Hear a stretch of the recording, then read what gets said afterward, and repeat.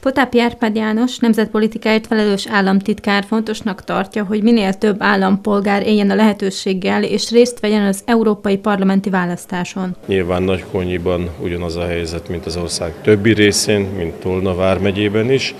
A települési önkormányzati választások mellett arra kérem az itteni embereket is, arra kérjük az itteni embereket is, hogy szavazzanak a Fidesz-KDNP pártszövetségre, mert csak így tudunk a béke oldalán kiállni.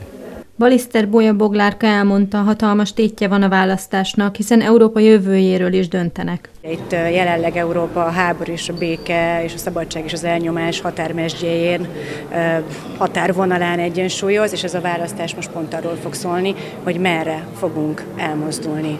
Úgyhogy hatalmas a tét, a magyar embereknek meg kell védeni a biztonságát és a békéjét, a gazdasági teljesítményünket, a családokat, különösen a gyermekeinket, úgyhogy itt a, a háború vagy béke, ez a legnagyobb tétje ennek a választásnak. Dr. Latorcai Csaba kihangsúlyozta, a rendszerváltás óta nem volt akkora kockázat a szavazásnak, mint jelenleg, ugyanis a háború vagy béke kérdésében kell állást foglalni.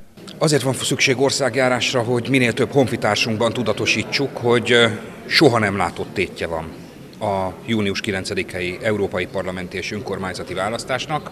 A tét nem kevesebb, mint hogy háború vagy béke.